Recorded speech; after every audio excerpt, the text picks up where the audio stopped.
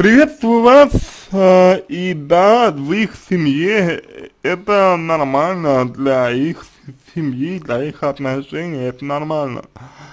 Норма вообще сама, сама по себе понятие очень э, относительное, и да, вот такая норма, такая норма, да, это вот нормальная история, для них это нормально.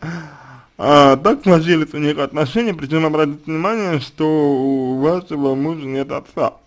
То есть, по крайней мере, отец ну, не с мамой не проживает, а мама до сих пор никого себе не нашла. То есть мужчины у нее нет. И очень часто бывает такая история, что э, такие мамы из своих э, детей, из своих сыновей э, делают себе мужчину и относятся к ним как к мужчине сожалению, да, такая история повторяется. Так что для их семьи это нормально. И, пожалуй, э, пытаться что-либо менять здесь, особенно если сам мужчина, то есть ваш муж, э, не видит в этом проблемы, а, не имеет никакого смысла, можете только настроить его против себя, я не думаю, что это хорошая идея, вот над чем реально и действительно стоит, на мой взгляд, поработать, так это над тем, что вы считаете это ужасом и, вероятно, ревнуете, а может быть и что-то происходит еще. Вот это, вот это, если, если это действительно так, то есть если вы действительно ревнуете, например, то вот это действительно требует, требует а, корректировки и требует вмешательства психолога.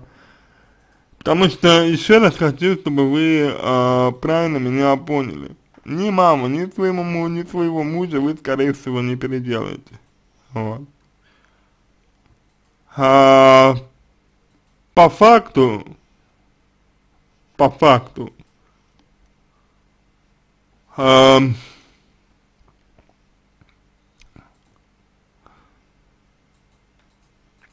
вы столкнулись э, с определенной проверкой, да, э, своей уверенности в себе.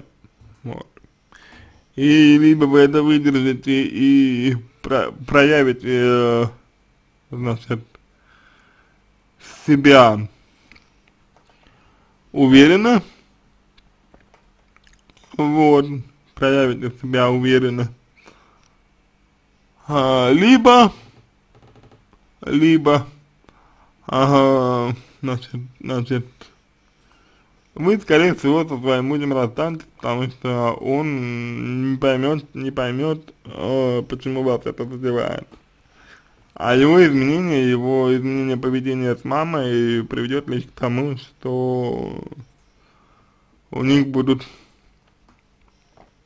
проблемы, и ваш мужчина будет винить э, в этом вас.